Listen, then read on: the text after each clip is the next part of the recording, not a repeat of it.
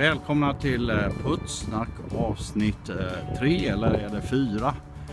Idag besiktar vi Sands GK.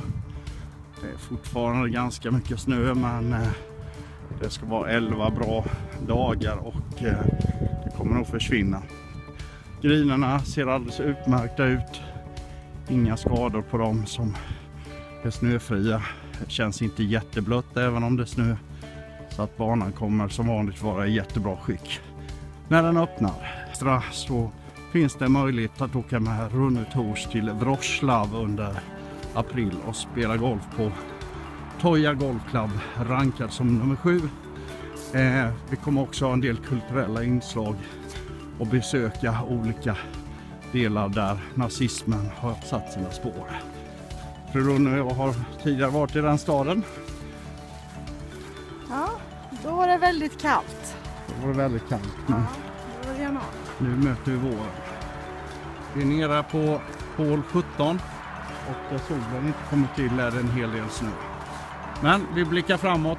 En, en ny säsong ligger i linjen. Ha en bra fortsättning på dagen. 17 har de förmodligen skottat av. Ser bra ut men eh, runt omkring är det mycket, mycket snö.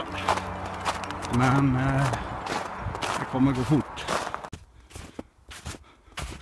Jaha, efter traskande i snö så är vi framme på Sands 18.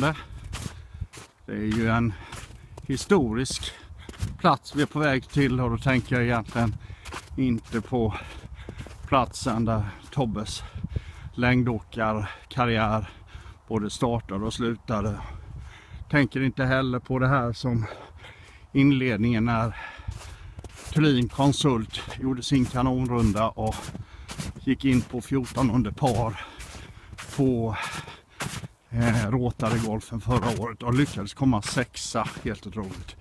Utan vi är framme vid den historiska platsen här där en doktor som brukar spela med oss bestämde sig efter att ha gått efter min boll i 17 och ett halvt hål att han ville se Bosse dansa och slog en spon som studsade i huvudhöjd förbi Bosse som inte riktigt hann dansa.